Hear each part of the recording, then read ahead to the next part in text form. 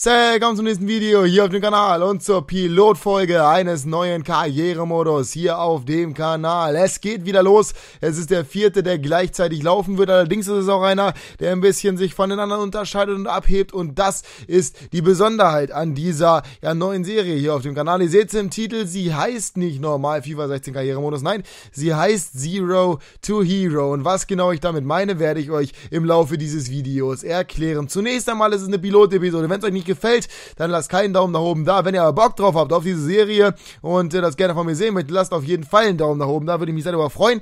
Ähm, 1000 Likes wären richtig, richtig geil. Schreibt mir gerne eure Meinung auch in die Kommentare, wenn ihr da ein bisschen was Fundierteres zu habt.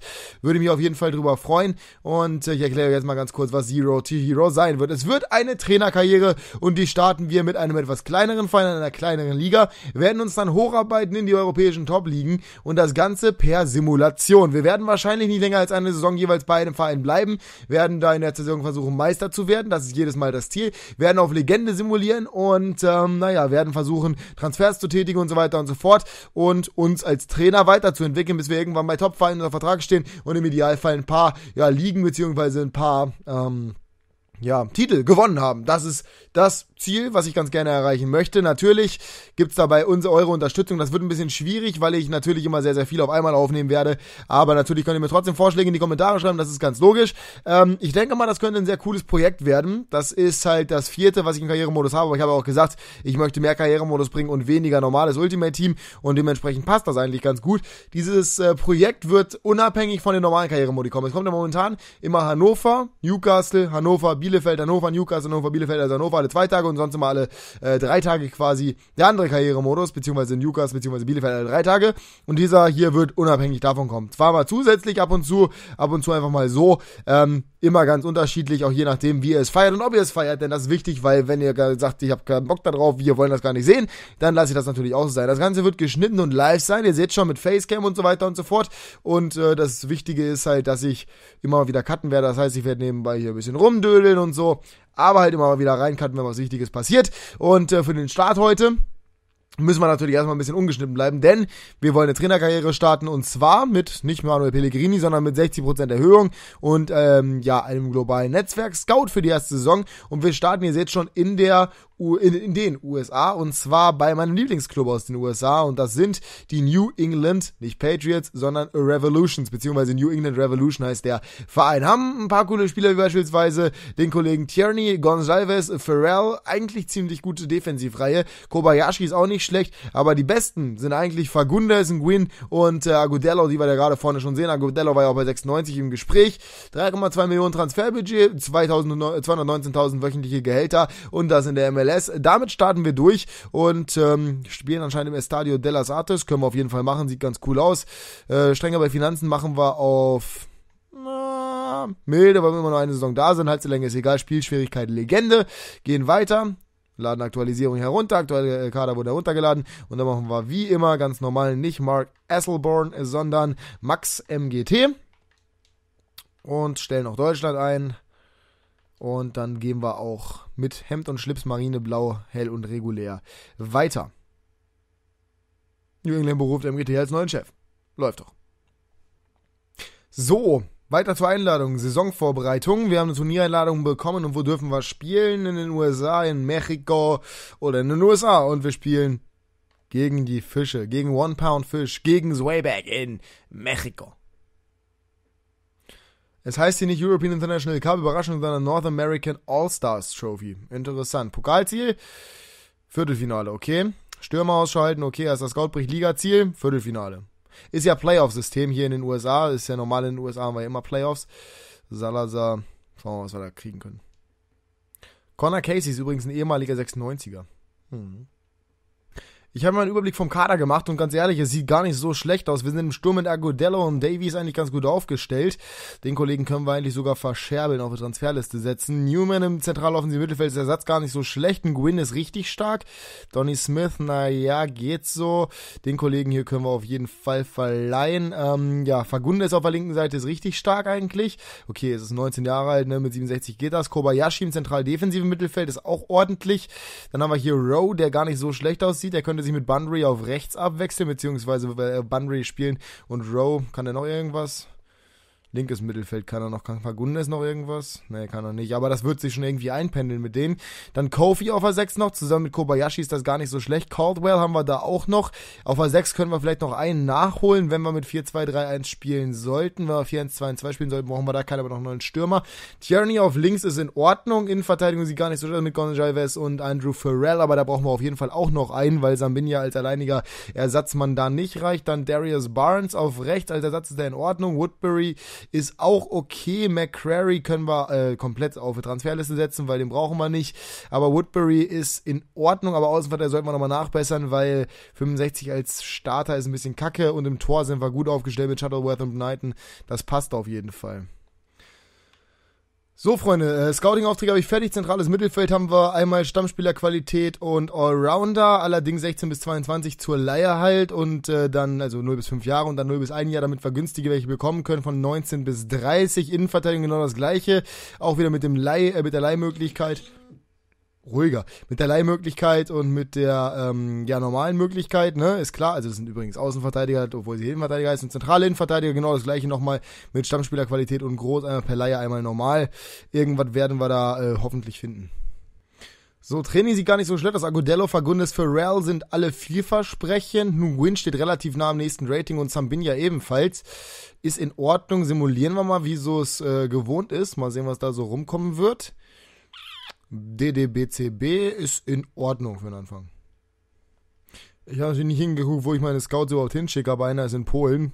Kann sie theoretisch trotzdem einfach mal machen. Theoretisch kann da ja was Gutes bei rumkommen. Das scouten wir einfach mal, aber jetzt gucken wir mal nach, wo die Scouts so sind, weil Polen, naja, geht, geht auf jeden Fall noch ein Stückchen besser. Wir haben noch zwei Scouts zur Verfügung. Schweiz ist in Ordnung, USA, mhm. Ähm, wobei Schweiz Kannst du eigentlich zumindest mal zu Deutschland ändern. England ist auch in Ordnung. Und dann kannst du noch, weiß ich nicht, was kannst du da noch nehmen? Italien vielleicht? Ja, wobei Italien hat nicht so die Tiefen liegen, ne? Kolumbien, Argentinien, Spanien, Türkei, Norwegen vielleicht, weil er aus Norwegen kommt. Warum nicht? So, Freunde, erstes Spiel. Ich habe direkt mal die äh, Stammelf bzw. die äh, Superelf in meinen Augen aufgestellt mit Shuttleworth, Gonzalez, Pharrell, Tierney, Woodbury, Caldwell, Kofi, Fagundes, Nguyen, Rowe und Agudello. Mal schauen, wie wir das machen können. Ich mag das Logo übrigens total gerne von äh, New England. Das der Patriots ist schon geil, aber das von Revolution ist auch schon echt cool. Spielen gegen Chiapas Jaguar. Mal sehen, wie das laufen wird. Fünferkette spielen die. Und 10 Minuten, noch nichts passiert. 1-0 Fagundes, sehr schön. 13. Minute, gelbe Karte auf Seiten von Chiapas. Ein 2-0, damit wir früh die Sicherheit bekommen, wäre schön. Kofi kriegt gelb, nicht so wild eigentlich, ist in Ordnung. Paredes für Rodriguez. Mal sehen, was unser Co-Trainer so macht, was Wechsel angeht. Kobayashi für Goldwell, das war mir fast schon gedacht, ist aber in Ordnung. Jetzt nur nicht den Ausgleich kassieren. Hier wird wieder ein bisschen gewechselt. 2-0 Davies, das heißt, das Ding dürfte durch sein. Wurde eingewechselt für Agudello. Sehr, sehr schön. Damit haben wir das erste Spiel in diesem Turnier direkt mal gewonnen. Ich habe hier nicht uninteressanten Spieler gefunden. Higaji, 1,95 groß. In Ordnung Werte. Eigentlich als Ersatzspieler vielleicht gar nicht so schlecht. Will aber 10.000 Gehalt. Sagen wir mal 6.000. Oh, Rotationsspieler mal sehen, ob er das annimmt. So, zweites Spiel und wir, äh, wie ihr seht, rotieren wir ein bisschen. Knighton kommt ins Tor, Sabinia Innenverteidigung, rechts Teal Bunbury und vorne Charlie Davis.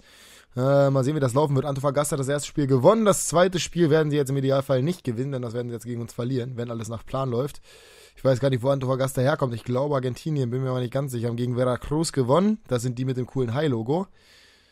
Mal sehen, wie das laufen wird. Sechste Minute. Oh, 1-0, neunte Minute Davies. Der trifft auch im zweiten Spiel hintereinander. Sehr schön. Normalerweise wäre Agodello meine erste Wahl gewesen. Aber wenn Davies jetzt so trifft, natürlich äh, macht er dann unserem jungen Star da Konkurrenz. Selber noch nicht so, als ob Kobayashi kommt wieder rein. Nun, Win macht das 2-0, können uns zurücklegen. Kobayashi verletzt sich. Ah, nicht cool. Aber gut, wir suchen sowieso auf der Position Spieler. Rod für Gonzales, der ist zum Glück nicht bei uns, sondern bei Antofagasta. Zweites Spiel ebenfalls 2-0 gewonnen. Das sieht doch schon mal gar nicht so schlecht aus. So, was hat er? Fünf Wochen. Scheiße, Mittelfußfraktur. Hm. Aktuell ist aus Polen. So, wir trainieren mal wieder. Ja, das sieht ordentlich aus. Pharrell steigt gleich mal in der Manndeckung. Kurz vorm nächsten Rating. Läuft doch.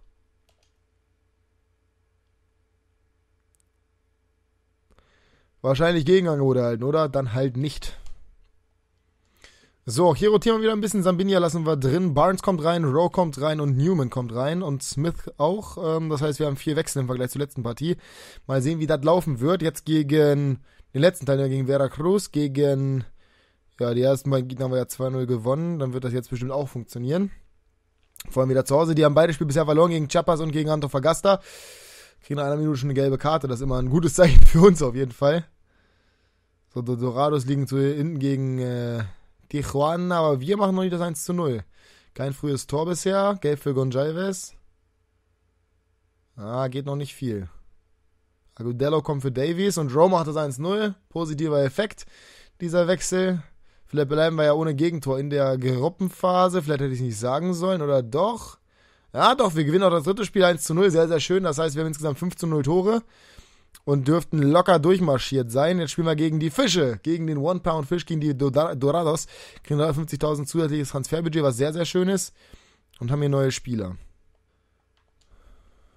So, wieder ein bisschen rotiert. Shuttleworth im Gasten, Pharrell, Gonjalves, Tierney, Woodbury, Caldwell, Kofi, Fagundes, Nguyen, Rowe und Davies. Mal sehen, wie das laufen wird. Ich bin mir gar nicht sicher, ob wir überhaupt Transferperiode haben, ehrlich gesagt, weil das hat mich gerade schon ein bisschen verwirrt. Ich konnte die Spieler gar nicht kaufen. Hatte gerade einen Scout-Abschlussbericht zu. Ne, haben wir gar nicht. Wir sind ja auch im Februar. Das ist ja total bescheuert. Warum haben wir denn im Februar gestartet? Warum nicht wenigstens im Januar? Dann bringt uns dann ja richtig viel. Dann können wir überhaupt keine Transfers machen. Erst im Juli. Ah. Bringt natürlich richtig jetzt was zu suchen, abgesehen von äh, freien Spielern. So, auf geht's ins letzte Spiel, beziehungsweise vorletzte Spiel im Idealfall gegen Dorados. Die haben also Niga. Ja, ich weiß ja nicht. Gelbe Karte für Lacerda. Morelo verschießt einen Elfmeter. Sehr, sehr schön. Das kriegt Shuttle, da kriegt Shuttleworth wieder ein bisschen. Jawoll, der kriegt richtig äh, Moral. Denn Cordo macht das 1. Ah, 2-1. Jawoll, das äh, geht ja hier wie ab wie Schmitz Katze. Rowan Caldwell sind erfolgreich für unsere Mannschaft. Kofi kriegt auch gelb. Können wir das über die Zeit bringen? 80. Sieht gut aus. Sieht gut aus. Jawohl, wir stehen im Finale. Sehr schön. Chiapas ist unser nächster Gegner. Die haben wir im ersten Spiel 2-0 gewonnen. Das heißt, äh, sieht nicht schlecht aus. Zwar das erste Gegentor kassiert, aber dafür einen Elfmeter gehalten. Läuft dementsprechend ganz gut. Turnierpreisgeld 500.000. Sehr schön. So, Pressekonferenz machen wir direkt mal. Anscheinend müssen wir über die Jugendarbeit kommen jetzt erstmal in der Saison. Oder freie Spiele halt gucken. Ha. Wir trainieren erstmal aus Trotz unsere Mannschaft und schauen, was sich da so tut. Sehr schön, drei Upgrades und zwar Pharrell, der steigt und gleich wieder richtig nach vorne gehen dürfte. Jawohl, Sambinja auch richtig stark und Agodello, ja, geht auch auf äh, 69 hoch, was sehr schön ist. Ich habe gerade einfach nur an der Flagge gesehen, dass der anscheinend aus Guinea-Bissau kommt. Ja, tatsächlich. Dass ich die Flagge erkannt habe, ist schon ein Witz eigentlich. Immer klingelt mein Handy, wenn es gerade nicht nötig ist, ne? Äh, ja, wen lassen wir sonst noch spielen? Ansonsten wollen wir eigentlich nichts ändern, ne? Sieht ganz stark aus. Mal sehen, wie es gegen Chiapas laufen wird im äh, Finale. Jetzt sind wir schon mal so weit gekommen, wie ich halt gerne haben wollte. Wir haben uns relativ gut präsentiert. Mal sehen, was jetzt noch so geht im Finale. Spielen zu Hause ist immer ein gutes Zeichen eigentlich. Aber nicht so weit aus dem Fenster lehnen. Drei Minuten rum, nichts passiert. Gelbe Karte, 1-0 Fagundes. Sehr, sehr schön, sind wieder früh in Führung durch unseren uruguayischen Flügelspieler. Die Stürmer, okay, Davis mittlerweile nicht mehr so stark. Ein Win macht das 2-0, also die Zehner und äh, offensive Mittelfeldspieler, die sind ja richtig stark. Chapas wechselt. Agudello für Gwyn. Oh, 1-2. Kommt nochmal ran durch Romero. Jetzt das Ergebnis bitte halten. Davies verschießt einen Elfmeter, macht aber noch das 3-1. Und dann hat auch noch einen Stürmer getroffen und wir haben das Turnier gewonnen. Zwei Gegentore, selber haben wir wie viel geschossen? Zwei, fünf, zehn Tore. Kann man auf jeden Fall so machen, läuft. Ein bisschen kratzige Stimme gerade. So, Turnierpreisgeld 600.000, schön. Connor Caseys Abschlussbericht ist da, 65er Rating. Ja, hat viel Stärke. Hat ein extrem geiles Tor irgendwann mal geschossen vor ein paar Jahren. Sambinja bedankt sich. Müsst ihr euch mal angucken. Casey, gegen wen war denn das? War das überhaupt Casey? Ich glaube ja. Hat glaube ich noch für Whitecaps gespielt. Hat auf jeden Fall gegen den ehemaligen Bundesliga-Keeper geschossen. War das Keller, der mal in der Bundesliga war? Ich meine, ja, Guinea hat, glaube ich, geschossen. Das war richtig geil. So, Freunde, haben ein paar Spieler auf eine Scout-Liste gesetzt, die ganz interessant aussahen. Äh, alles freie Spieler, weil das sind die einzigen, die wir holen können, logischerweise. Innenverteidiger Clayton Daniels, Südafrikaner, ich, äh, Entschuldigung. Clayton Daniels ist äh, Südafrikaner, sieht ganz gut aus. Bejiak ist, ja, Slowake, Slowene, Slowak, irgendwie sowas. Sieht auch nicht schlecht aus. Bejarano, hm, mal sehen. Slatinski haben wir dann hier, Alexandrov, Jakov, Galindo, Ballon, Quan, Reitala, Jeffren, der war mal richtig geil früher. Weiß ich noch, in FIFA 5, 14 bei Sporting oder 15. Junmin haben wir hier noch, äh, Samajic, Zhenglong, ja, der mystische Drache aus ähm, Dragon Ball, Michailov, eine Legende, Chimopoulos, eine persönliche Legende, ich sag nur Bielefeld-Karrieremodus, ja, Gabor Kirai, der Hosenheld, ähm, ja, mal schauen, vielleicht können wir den einen oder anderen gebrauchen, mal sehen, was die Scout-Berichte am Ende so sagen werden. Genug Geld haben wir an sich. Spieler des Turniers übrigens Dean Win.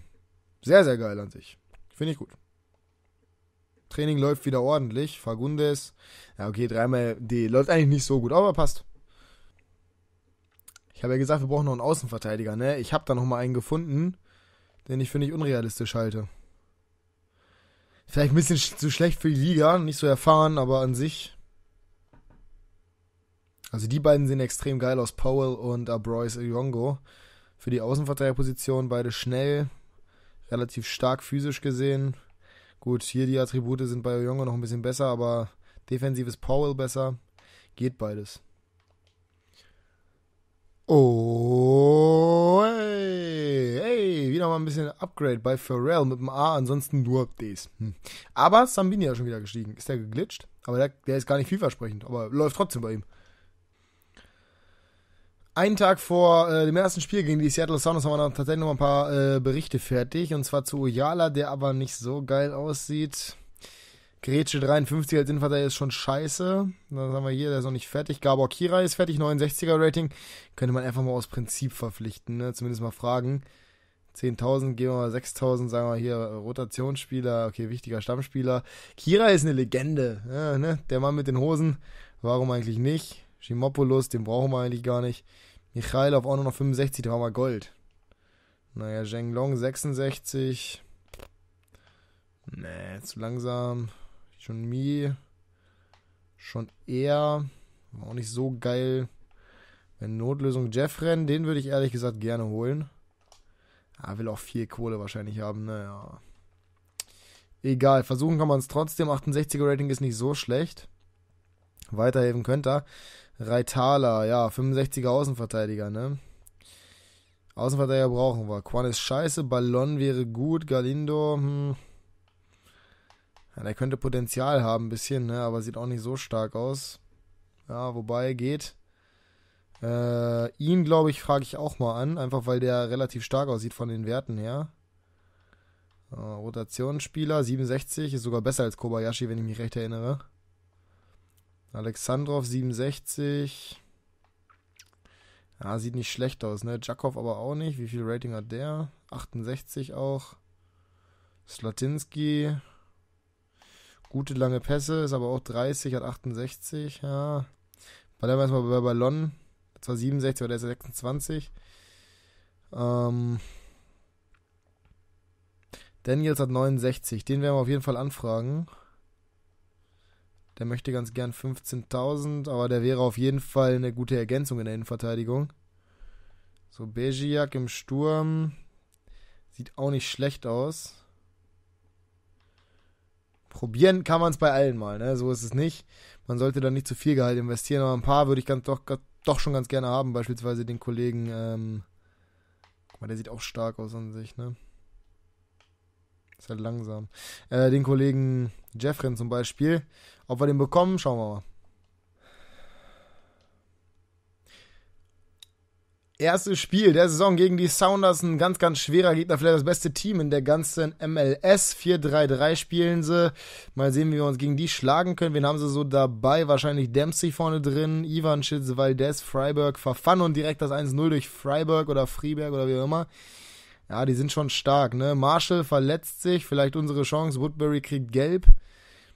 Davies macht das 1 zu 1, sehr, sehr schön. Fagundes verletzt sich, aber Davies direkt nach der Halbzeit mit dem 2 zu 1. Unser Stürmer ist richtig on fire. Ivan Schitz, der Ex-Mainzer, macht das 2 2. Vielleicht kriegen wir ja noch einen Lucky Punch, jetzt bloß nicht mehr kassieren. Barnes, Gonzalez kriegt gelb. Okay, wir spielen im ersten Spiel 2 zu 2, das ist in Ordnung, damit kann ich leben. Allerdings hätte ich einen Sieg lieber mitgenommen und natürlich eine Verletzung ist auch sehr, sehr doof. Sechs Wochen für unseren Flügelflitzer. Sehr scheiße. Zum Glück haben wir da den Ersatz mit, äh, mit Smith bzw. Rowe bzw. Bunbury ganz gut am Start. Kobayashi ist zum Glück bald wieder fit. Ist natürlich trotzdem bitter auf jeden Fall, kann man nichts gegen sagen. So machen wir mal so. Und Bunbury stellen wir auf den rechten Flügel. Ja, bitter ist es in jedem Fall. Da ne? kannst du, obwohl, warte mal ganz kurz. Ich will wissen, ob Fagunde, äh, Fagundes, äh, ob äh, Agodello nicht sogar außen spielen kann. Ich meine, der könnte außen spielen. Ja, linkes Mittelfeld, perfekt. Na, für den seine neue Position ja gefunden. Training, Training, Training und das läuft ganz gut. Schon wieder steigt Sabinia. Das sieht echt, der ist doch hundertprozentig geglitscht. Pharrell ist auch kurz vom nächsten Rating. Agodello sieht auch nicht schlecht aus. Das geht doch bisher. Sorge um Fagundes alle drei Gegenangebote erhalten. Bejak ist mir nicht so wichtig. Ballon wäre mir schon recht wichtig. Versuchen wir mit 12, äh, 15.000. Mal sehen. Und Kirai, tja, dann nicht.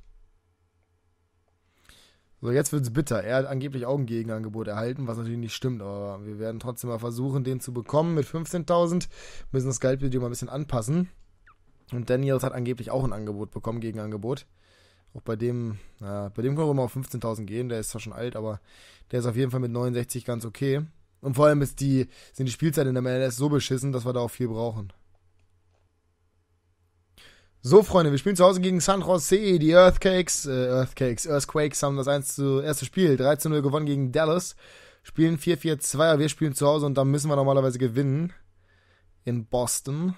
Ich weiß nicht, ob New England Revolution auch in Boston spielt, aber die Patriots kommen auf jeden Fall aus Boston. Sambinia kriegt gelb, der steht in der Startelf, ein bisschen rotiert. Wondolowski mit 1 zu 0. Scheiße, Bunbury auch noch angeschlagen, also das hätte definitiv besser laufen können. Momentan haben wir ein bisschen die Seuche. Vor allem, weil wir das Ding jetzt hier irgendwie drehen müssen. Komm, Jungs, hallo, irgendwer, vielleicht Gamble kommt rein. Warum kommt denn Gamble rein? Oh Gott, ein Yassi mit dem 2-0. Ja, scheiße, okay, die erste Niederlage die wir einstecken müssen als Coach und er wird vier Monate ausfallen. Du willst mich doch verarschen. Gott sei Dank läuft das hier richtig gut. Wir holen erstmal einen Scout, damit wir zumindest mal ein bisschen äh, Nachwuchs bekommen, beziehungsweise vielleicht irgendwie ein bisschen Glück haben. So, das können wir hier nochmal. Haben wir hier nochmal einen guten dabei? Ja, nee, lieber nicht.